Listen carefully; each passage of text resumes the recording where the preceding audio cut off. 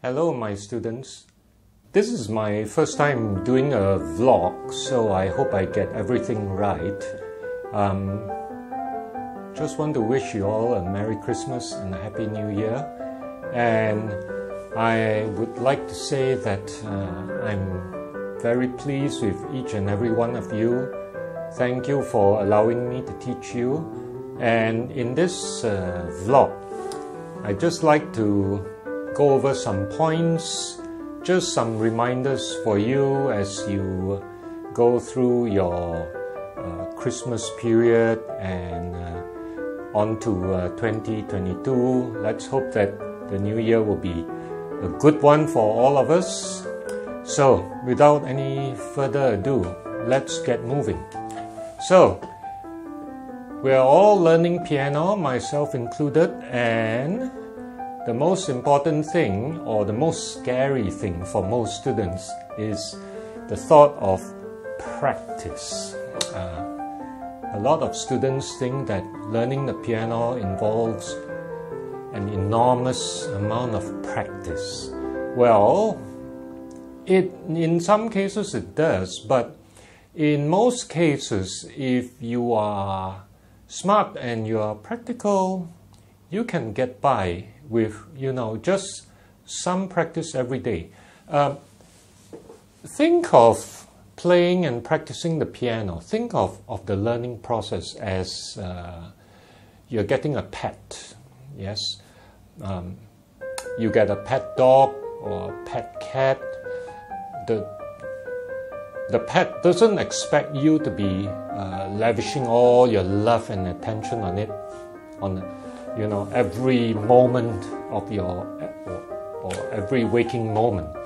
So occasionally you'll play with it, you know, but other times you'll have other stuff to do. You're busy with work, school, your office, uh, and so on and so forth.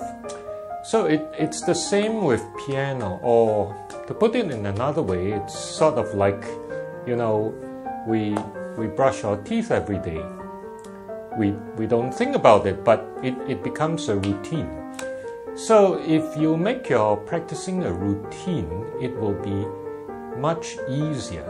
Um, and there's no set routine. Some some people like to practice in the morning, some people like to practice in the afternoon, some people like to practice in the evening, eh, or it depends on um, when you have the time. So, the important thing is you have to make time for practice. Right? Practice does not involve hours and hours a day. It can be as short as maybe 10 minutes a session. So, I myself when I practice the piano, I rarely go more than 30 or 45 minutes tops. And sometimes my practicing is as short as 15 minutes. But then we come to the next thing, which is very important. The next thing that's very important is the quality of your practice versus the quantity. So Again, a lot of students feel that, oh, uh, quantity is much more important than quality. Well, I'm afraid that's not really true. Quality is much more important. So let's say if I just do a 10 minute session today, but I give it all my attention, my focus, and I'm sort of in the moment. I I know what I'm practicing, I know what I expect from myself, and so those 10 minutes are spent in a very, very uh, worthwhile manner. If you don't, and you are just practicing just for the sake of practicing, or you know, just to not feel so guilty, then even if you did an hour or two, uh, you would not get much from it. All right. So make sure that quality plays the top role in your practicing. So for myself, when I practice, I like to focus on small chunks. All right. Something as small as four bars or four measures. Uh, maybe playing each hand separately a few times. And then trying to put the two hands together into a whole unit and not being frustrated when mistakes crop up because mistakes will crop up.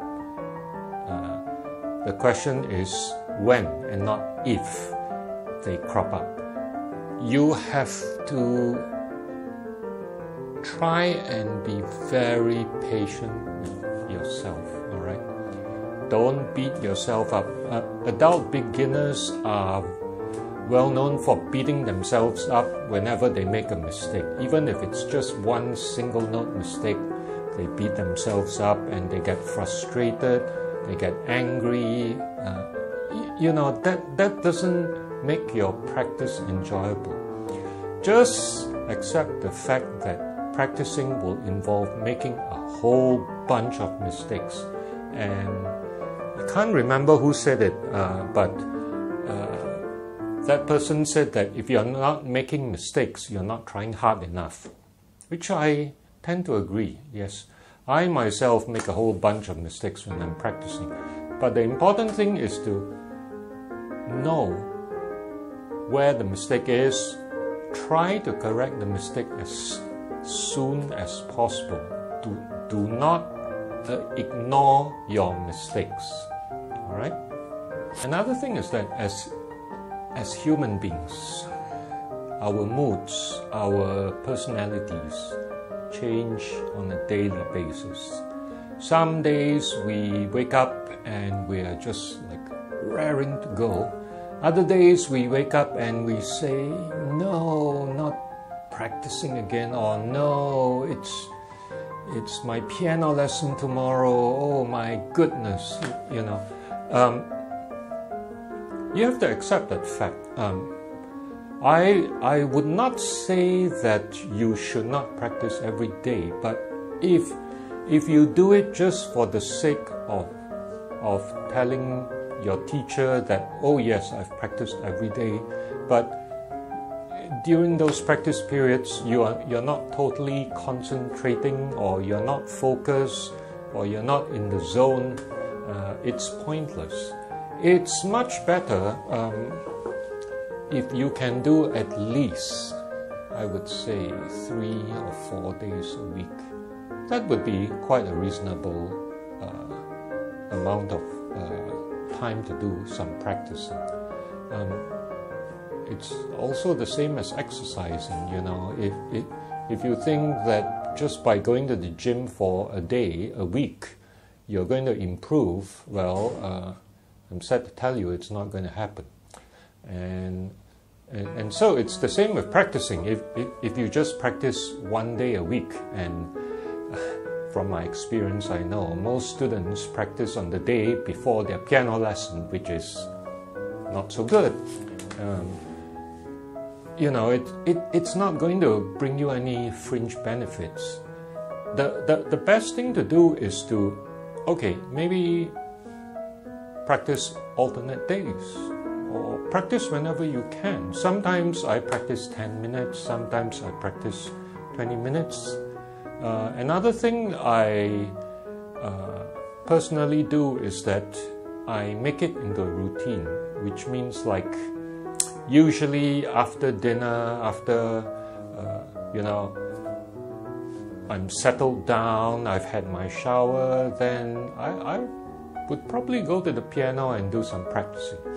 And naturally, of course, you need to start off with some warm ups it's not so advisable to just sit down at the piano and start from cold, you know, and, and launch into some Beethoven or, or Schubert or Chopin or whatever. It's much better to do some scales or maybe some Hanon, some Czerny.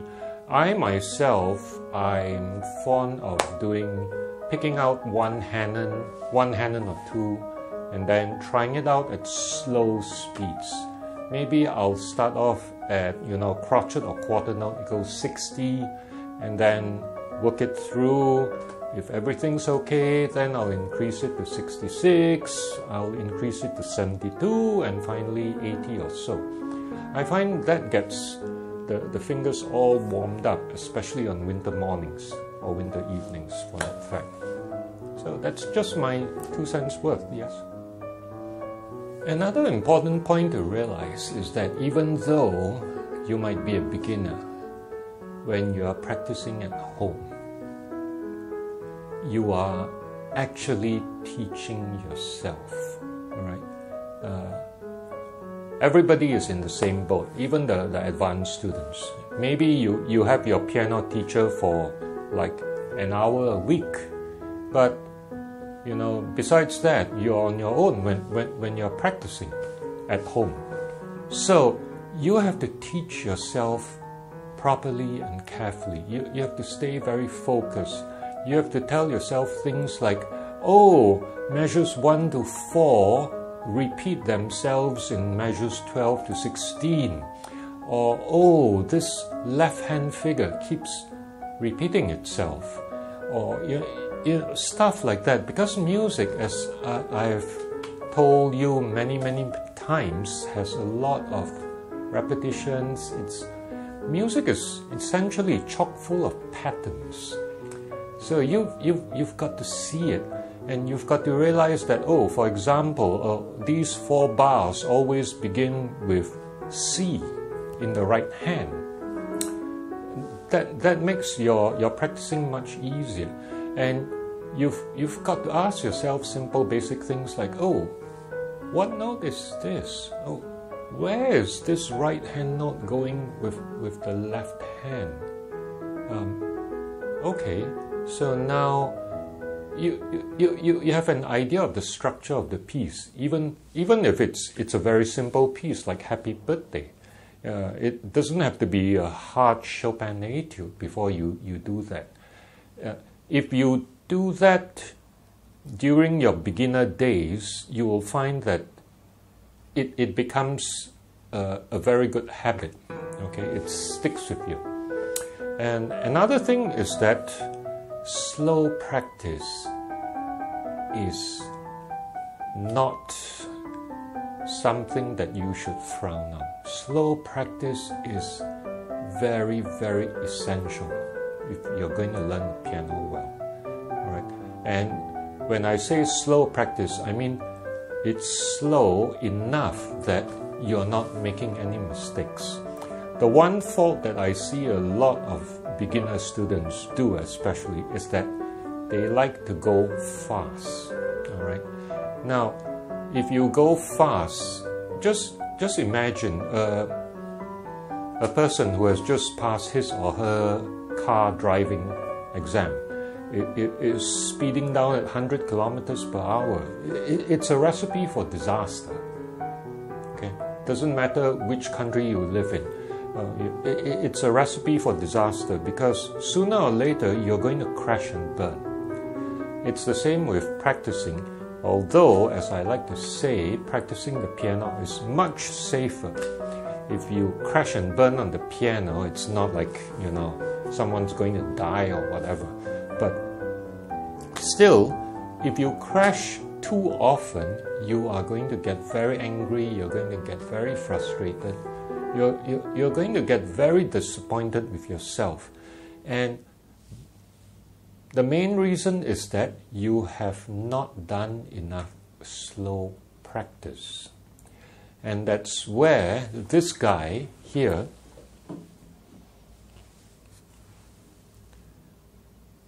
this is called a metronome. All right? This guy is your best friend. A lot of students are very scared of the metronome. A lot of students hate playing with the metronome. But the metronome is essentially your, your, your musical friend on, on your piano journey.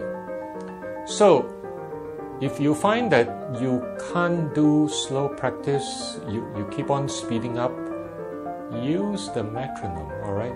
Maybe uh, consult with your teacher about suitable metronome speed to start with, Okay, so maybe I'm, I'm going to start at quarter note or crotchet equals 60 and eventually I'll get up to, I don't know, my cruising speed is 96, so, you know, all the steps in between.